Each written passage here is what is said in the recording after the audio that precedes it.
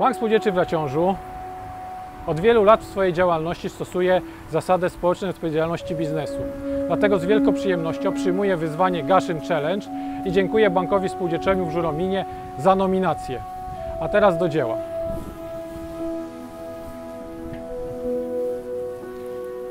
BS Raciąż, Active Team, do dzieła!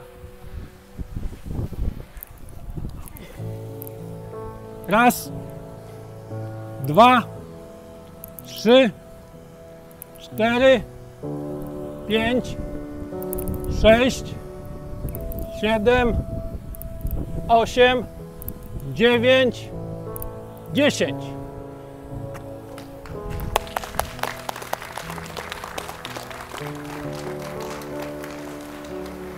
Zachęcamy wszystkich do pomagania podopiecznym Fundacji się pomaga, a w szczególności ZOSI. Do wyzwania nominujemy Bank Spółdzielczy w Półtusku, Gminę Raciąż oraz Urząd Gminy w Sońsku. Dziękuję bardzo.